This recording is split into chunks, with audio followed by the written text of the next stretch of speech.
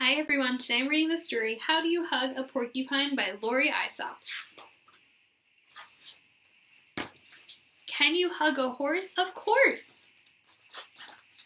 A cow with arms around her neck, that's how. A dog or cat it's not so hard, just hug them in your own backyard. Hugging bunnies is just divine. But how do you hug a porcupine? Can you hug some billy goats? Entice them with a bag of oats. And surely you can hug a pig, just spread your arms out extra big. With baby chicks, be sweet, be kind.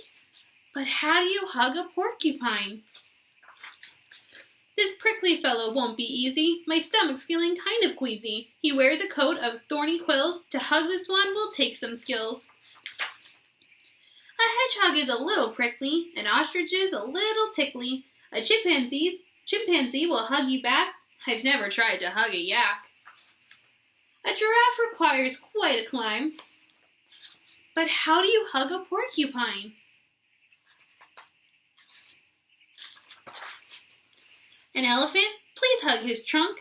I wouldn't want to hug a skunk. A kangaroo just hop this way. Don't let the dolphin slip away. A panda probably wouldn't mind, but how do you hug a porcupine? You must go slowly, never hurry. Porcupines aren't soft and furry. His quills defend him from his foes, but I'm his friend, he surely knows. At last, hooray, it's finally time. This is how you hug a porcupine. Carefully. The end. I'll see you all tomorrow. Bye.